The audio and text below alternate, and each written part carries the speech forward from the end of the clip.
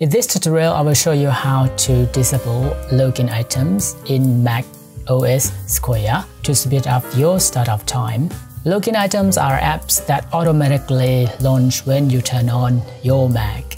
While some are useful, others can slow down the startup process.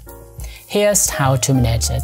Go to System Settings, General, uh, look for login items and extensions, you'll see a list of apps that launch at the startup.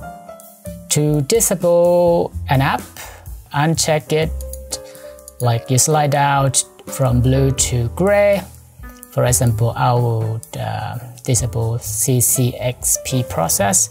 I think this part of the Adobe Creative Cloud that the new latest version that automatically turn on. I don't know why. Anyway I turn it off because it's not necessary. For some apps uh, you may need to enter your administrator password. Keep only apps that you need like essential utilities or tool that you use frequently. That's it. The next time you restart your Mac, the disabled apps won't launch automatically resulting in a faster startup. If you like to learn more how to uninstall an app completely on your Mac OS Sequoia, check out my next video, link on the screen.